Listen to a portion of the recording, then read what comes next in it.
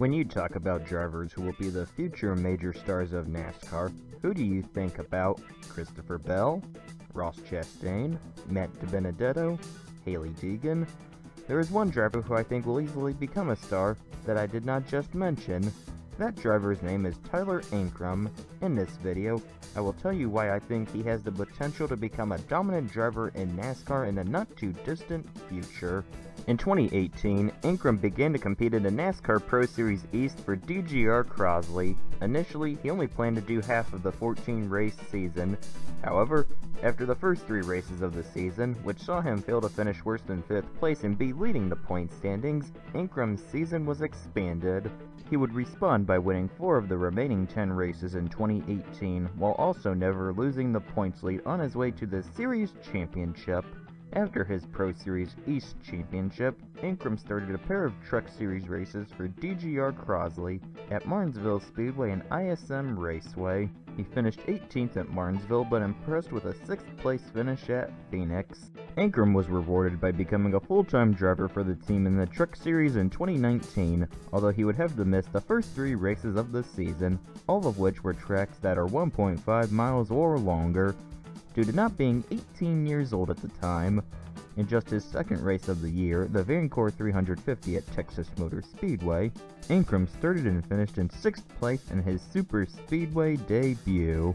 A little over two months later, when the series returned to Texas, Ankrum would lead for 9 laps and ultimately finish 3rd, despite spinning out at one point in the race. However, sponsorship issues soon developed and he was pulled from his DGR Crosley truck for select races. In order to remain eligible for the playoffs, Ankrum would drive for Nemco Motorsports in a pair of races at Iowa Speedway and Worldwide Technology Raceway at Gateway, where he would start and park. Eventually, Ankrum returned to DGR Crosley. He would have his breakthrough race at the Buckle Up in Your Truck 225 at Kentucky Speedway, after qualifying ninth, Ankrum would become a leading contender in the race and lead a race-high 40 laps. With less than two laps to go, reigning series champion Brett Moffitt ran out of fuel and Ankrum claimed the lead, and with it, the win. As a result, Ankrum was now locked into the playoffs. To show that his victory was no fluke, Ankrum then finished in second place at the following race, the Gander RV 150 at Pocono Raceway. In spite of these results, Ankrum was still viewed as an underdog going into the playoffs, and it was considered unlikely that he would advance past the first round. Going into the third and final race of the first round of the playoffs, the World of Westgate 200 at Las Vegas Motor Speedway, Ankrum was ranked 8th out of 8 drivers and was 14 points below the cutoff line to advance.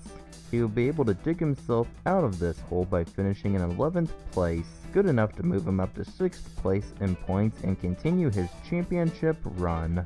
Tyler Ankrum's story is one of persistence, talent, and getting the best out of opportunities that present themselves to him.